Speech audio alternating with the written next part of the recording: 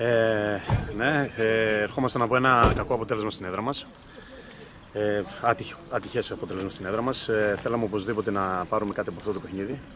Καταφέραμε, πήραμε το βαθμό της ισοπαλίας. Είμαστε εν μέρει ευχαριστημένοι. Ε, ε, απέναντι σε μια πάρα πολύ καλή ομάδα που έτρεχε πάρα πολύ, δούλευε πάρα πολύ όλους, καλά όλους τους χώρους. Καταφέραμε και πήραμε το χ και νομίζω ότι ε, είναι δίκαιο αποτέλεσμα και για τις δύο ομάδες.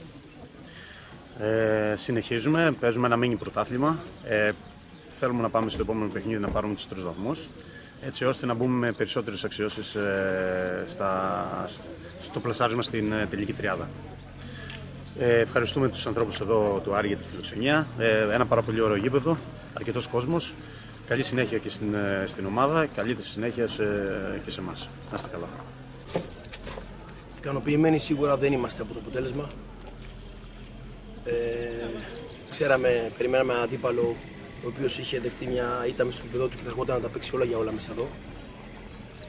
Νομίζω ότι καθόλου το παιχνίδι, καθόλου τη διάρκεια του παιχνιδιού ήμασταν υπερήχαμε σε όλες τις γραμμές.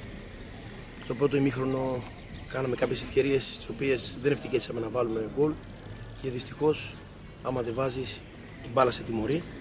Σε μια ανίποτη στιγμή δεχτήκαμε τον γκολ. Μας είχαν προειδοποιήσει βέβαια και άλλη μια φορά, αλλά αυτό είναι το πόσο. Άμα δεν βάλεις, τρώ γκολ. Που εκεί πέρα παλέψαμε, μπήκαμε στο δεύτερο το παλέψαμε, μπορούσαμε και σοφαρίσαμε, μπορούσαμε να είχαμε κάνει και άλλες φάσεις. Υπήρχε λίγο και η κούραση. Δεν έχω παράπονο, θα δώσαν όλα τα παιδιά. Το αποτέλεσμα δυστυχώς δεν μας ικανοποιεί.